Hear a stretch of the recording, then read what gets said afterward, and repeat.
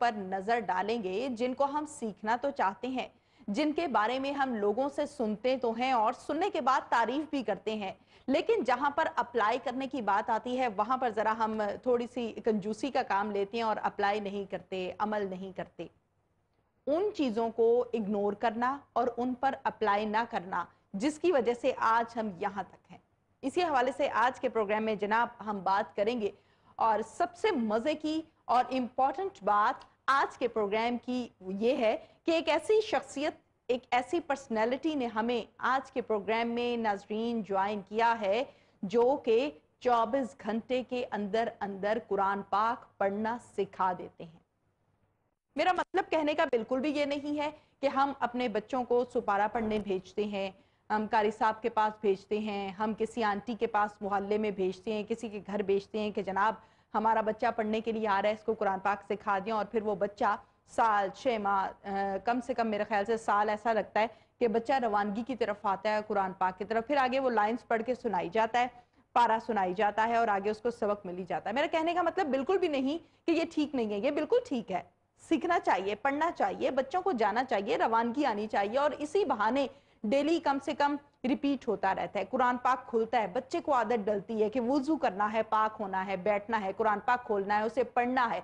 बच्चे की आदत डेवलप हो रही होती है और आदत डेवलप करना सबसे मुश्किल काम होती है, जो कि हमें बचपन से कर देना चाहिए। एक तो ज़िंदगी का पहलू ये हो गया। दूसरा पहलू ये है कि अक्सर औकात हम ये चीज़ देखते हैं, मुझे अपने तमाम शहरियों से बहुत लगाव है मैं बहुत एहतराम करती हूँ तमाम पाकिस्तानियों का, तमाम मुसलमानों का, और उनसे ज़्यादा लगा हुआ एहतराम है, जो कुरान पाक को पढ़ना नहीं जानते, जबकि वो सीखना जानते हैं। वो सीखना चाहते हैं, लेकिन जानते नहीं है कि कैसे पढ़ें। कुछ लोग शर्मिंदगी के मारे के बात नहीं किसी को बताते कि हाँ मुझे कुरान पाक नहीं पढ़ना आता, मैं महफिल में कैसे नाम लूँ? या अपने सर्कल में कैसे ये बात करूँ कि, यार, मुझे तो कुरान पाक ही नहीं पढ़ना आता? कोई ऐसा मसला नहीं है। हर मसले का हल अल्लाह ताला ने बयान किया है। इस मसले के हल के लिए भी जनाब आज के जो पर्सनैलिटी है, जो मेरे साथ इस टाइम स्टूडियोज में मौजूद है, मैं बड़ी इंप्रेस हुई इनसे। ऑन द रिकॉर्ड मैं ये बात कर रही हूँ, बहुत कम लोग होते हैं ऐसे जिनसे आप फ़र्स्ट टाइम मिलते हैं और फिर आप उनसे इम्प्रेस होते हैं कि हैं, ये बंदा इतने गट्स वाला है। इस बंदे के अंदर अल्लाह ताला ने इतना टैलेंट भरा है। तो इनके टैलेंट से मैं भी मुतासर हुई और मेरी ये कोशिश है कि आज के प्रोग्राम के ज़रिए से नाजरीन ज़्यादा से ज़्यादा इनका जो टैलेंट है, जो इनके साथ गुफ्तु मैंने प्रोग्राम से पहले की, बहुत अच्छी लगी मुझे। मेरी कोशिश है कि वो तमाम इंपॉर्टेंट पॉइंट्स ज़िंदगी के वो पहलू, जो इससे पहले तक हम नहीं जानते थे, वो आज इस प्रोग्राम के ज़रिए से आप तक पहुँचाऊँ। कोशिश करूँ कि ज़्यादा से ज़्यादा अच्छा टाइम हम इनके साथ स्पेंड करें गुफ्त शनीद के सिलसिले को आगे बढ़ाते हुए, जो पर्सनैलिटी मेरे साथ इस टाइम स्टूडियोज़ में मौजूद हैं, उनकी डिग्रीज़ इस टाइम मेरे पास, मेरे पेपर पर लिखी हुई हैं, लेकिन अगर मैं यहाँ पर डिग्रीज बताने बैठ जाऊँगी तो इस प्रोग्राम का काफ़ी सारा हिस्सा जो है, वो डिग्रीज को बयान करते हुए गुजर जाएगा, जो कि मैं नहीं चाहती। मैं ये चाहती हूँ कि हम इनके टैलेंट से, इनकी तालीम से, इनके इंफॉर्मेशन से, इनके एक्सपीरियंस से कंसल्टेंट भी हैं ट्रेनर भी हैं मास्टर्स काफ़ी सारे किए हुए हैं। साथ ही साथ एलएलबी को हम देख लें, वो भी है।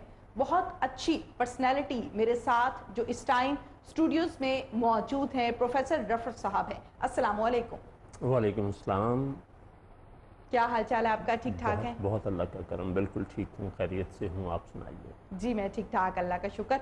सबसे पहले तो प्रोफेसर साहब मुनफरद नाम है आपका। इससे पहले मैंने ये नाम नहीं सुना। बेशुमार लोग ऐसे हैं जिनके साथ प्रोग्राम्स इस चैनल पर और चैनल्स पर करने का मौका मिला मुलाकात करने का मौका मिला। और तकरीबन तमाम के तमाम वो शख्सियात थी जिन्होंने अपनी अपनी फ़ील्ड में एक मुनफरद नुमाया नाम बनाया होता है। माशाल्लाह से आपका भी एक नाम है, मुकाम है और मुनफरद हैं आप। लेकिन आपके नाम जैसा शख्स मैंने पहले नहीं देखा, जो सबसे पहले मुझे इम्प्रेस करके गया कि हैं, बड़ा डिफरेंट नाम है। और मज़े की बात नाजरीन, जब मैंने इनसे क्वेश्चन किया कि आपका नाम किसने रखा है? आपके फादर ने रखा है, आपकी मदर ने रखा है तो इन्होंने कहा, मैंने खुद रखा है। मैंने कहा, खुद रखा है। मैं दो मिनट के लिए ज़रा चौंक गई और फिर से मैंने पूछा कि आपने खुद रखा है? तो इन्होंने कहा हाँ मैंने खुद रखा है जब मैं बड़ा हुआ। नाम के इंसान की ज़िंदगी पर बहुत सारे असरात होते हैं। ये भी कहा गया प्रोफेसर साहब की तरफ़ से। मज़ीद आगे चलते हैं। प्रोफेसर साहब, सबसे पहले तो बहुत बहुत शुक्रिया आपने हमें ज्वाइन किया। आपका भी शुक्रिया जी कि आपने मौका दिया कि मैं आवाम तक बात कोहनूर जैसी खूबसूरत हीरे के ज़रिए आवाम तक पहुँचा सकूँ। बिल्कुल ठीक है। प्रोफेसर साहब गुफ्तु के सिलसिले को आगे बढ़ाते हुए सबसे पहले तो मैं यहाँ से गुफ्तु के सिलसिले का आगाज़ करूँगी कि हमारे यहाँ चीज़ को सीखने के लिए जस्तजू तो होती है। दिल तो चाहता है मैं ये काम कर लूँ और सीख लूँ। लेकिन जब हम करने लगते हैं तो बहुत सी तनकीदी निगाहें या तनकीदी हम ये कह सकते हैं कि अपनी अपनी जो राह होती है अपनी अपनी एक इंसान कहता है कि मेरी ये राय है जी ऐसे नहीं। बहुत सी तनकीदी आराएँ जो होती हैं उससे हम काम करने से पहले ही डर जाते हैं और कहते हैं कि नहीं मैं नहीं कर सकता। क्या मुझे फील करना पड़ेगा? मुझे फेस करना पड़ेगा मुआशरे को? इज़ दिस राइट जी हाँ नो जो है ना ना कह के हम कंफर्ट जोन में चले जाते हैं। हम्म। फिर आपको किसी को जवाब आप कहते हैं आपने ये काम करना है या कर सकते हैं मैं कहता हूँ नहीं ये तो नहीं कर सकता। तो वहीं से मैं कंफर्ट जोन में चला गया। अगर मैं कहूँ कर सकता हूँ तो फिर हर रोज़ हाज़िरी दे के आपके सवालों के जवाब देने होंगे। तो हमारा जो कल्चर है, वो एक ही मतलब हमें ये सिखाता है कि एक दफ़ा की बेज़ती करा लो या नुकसान उठा लो और चुप करके एक तरफ़ हो जाओ, ये काम शुरू कर दिया तो फिर बहुत सारे मसाइल होंगे। ठीक, बिल्कुल ठीक है। कंफर्ट जोन अब हमने चूज़ करना है, या कि हमने मुश्किल रास्ता जो है वो अपनाना है। मकसद ये होना चाहिए कि ये काम करना है तो करना है। अल्लाह ताला की मदद होती है और सीधी राह में अल्लाह की मदद लाजिम होती है। ये बताइएगा प्रोफेसर साहब माशाल्लाह से कुरान पाक 24 घंटों में पढ़ना सिखा देते हैं। पढ़ने के साथ साथ समझना भी सिखा देते हैं। ये मायने खेज बात है। इस हवाले से बताइएगा। बिस्मिल्लाहिर्रहमानिर्रहीम। एक बात तो आ, पहले से वाजे हो जानी चाहिए। कि 24 घंटे में कुरान पाक पढ़ना सीखिए। ये प्रोग्राम किन के लिए है? ये उनके लिए है जो ज़िंदगी में किसी भी वजह से कुरान नहीं पढ़ सके। अदरवाइज़ पढ़े लिखे हैं और उनकी उम्रें 15 साल से ज़्यादा हैं। बच्चों के लिए ये डिज़ाइंड नहीं है। इसमें मैंने बहुत सारी चीज़ें जो की हैं, वो आप ये समझें कि मेकअप किया है, आइसिंग ऑन द केक किया है, जो ये ओरिजिनली टेक्नोलॉजी है, ये सौ साल पुरानी है। ठीक सौ साल पुरानी है, क्योंकि मेरी उम्र के वो जो लोग हैं या वो लोग जिन्होंने पचास साल, साठ साल पहले कुरान पढ़ा, उन्होंने यसुल कुरान से पढ़ा, आज भी वो बाज़ार में मौजूद है। ये कहाँ से आया? जिस हस्ती ने ये यसुल कुरान बनाया था ही was not an ordinary person 1903 में एक बच्चा पैदा होता है आपके इसी लाहौर शहर में।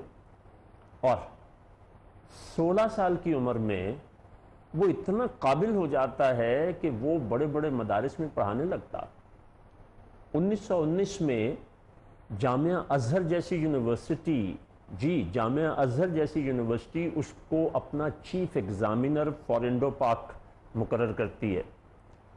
और फिर 1923 में उससे रिक्वेस्ट करती है कि बर सग़ीर में क्योंकि अंग्रेज़ के कब्ज़े के बाद मदारस जो हैं, उनके हालात पहले जैसे नहीं रहे। कराम को बड़ी तादाद में फांसियाँ दे दी गई हैं। और कहीं ऐसा ना हो कि लोग लहजा नबवी के मुताबिक कुरान पढ़ने की बजाय इनके लहजे बदल जाएँ तो उसको महफूज करने के लिए कोई टेक्नोलॉजी, कोई तरीक़ाकार वजह कीजिए। तो उन्होंने ये यसुल कुरान बना कर दिया।